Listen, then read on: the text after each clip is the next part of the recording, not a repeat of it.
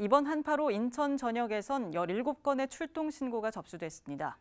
13일 오후 6시 30분쯤 중구 신흥동에선 강풍으로 인해 현수막이 훼손됐다는 신고가 접수돼 소방대원이 출동해 안전조치를 진행했습니다. 또 오후 7시 55분쯤엔 강화군 화도면 능내리에서 중앙분리대가 이탈해 119 대원들이 현장을 정리했습니다. 14일 오후 기준 다행히 한파로 인한 인명피해는 발생하지 않았습니다.